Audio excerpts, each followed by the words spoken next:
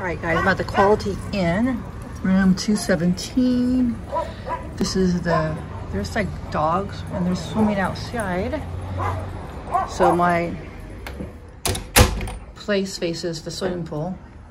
And now you can actually swim. In case you guys are watching this video after the COVID, I have not found one hotel motel in California where you can swim and I think we get a breakfast buffet, so that's really a plus. I've never seen that before during COVID. But um, I got two beds because just for me, but this is all they had. Um, and a TV, a little smaller than um, most hotel rooms. Place for your clothes. Here is a desk. Right here we have a refrigerator. We have a coffee maker like a bucket with ice, microwave right here. We have a closet, so you can hang your clothes if you want. Um, sink. Then we have a toilet and um, you turn on the lights. Bathtub, toilet. So yeah, this is the Comfort Inn in Santa Barbara, California. Um, I think it's a pretty basic hotel, but I feel like it's going to be quiet. Well, besides the dog. So hopefully the, the dog park or whatever the dogs goes away. But, so I think there's a breakfast buffet tomorrow morning. I'm going to let you guys know how that is. I was very surprised because the last hotel I stayed at in Pismo Beach, they didn't offer any breakfast. No, Some people offer breakfast like in brown bags, but I think it's a breakfast buffet. I'm super excited. Yeah, this is my hotel room for just one night. Also, guys, I forgot to tell you how I searched for this hotel and why I chose this hotel. Um, Santa Barbara is very expensive for hotels. Pismo Beach is a little bit cheaper. Santa Barbara is very expensive. I don't know why. But this was, so I searched all the hotels on Expedia.com and there's a map. You can see where they are.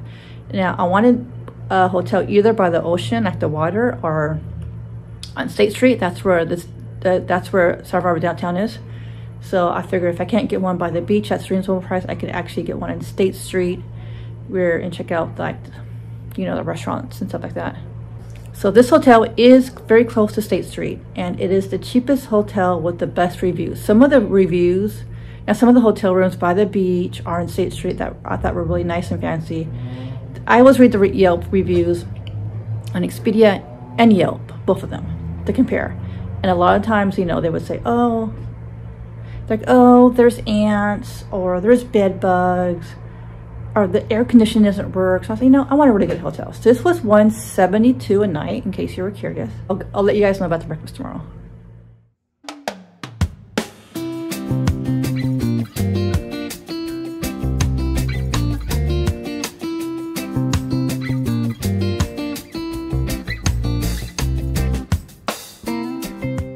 Guys, here's my breakfast. You saw a little um, video of what they had. Basically, it was just coffee, oatmeal, pastries. Not like hot food or anything, but it was kind of cool. At least they did this. Most hotels don't really do anything.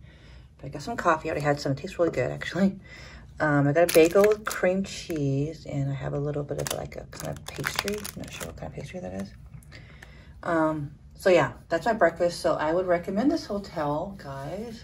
I don't usually rate hotels but I would probably give it four out of five just because the little dog park next to the hotel is kind of loud. It's actually pretty quiet in here, honestly. It was, a, you know, it was a pretty good hotel. A little expensive, but you know. All right, guys. Um, thanks for watching.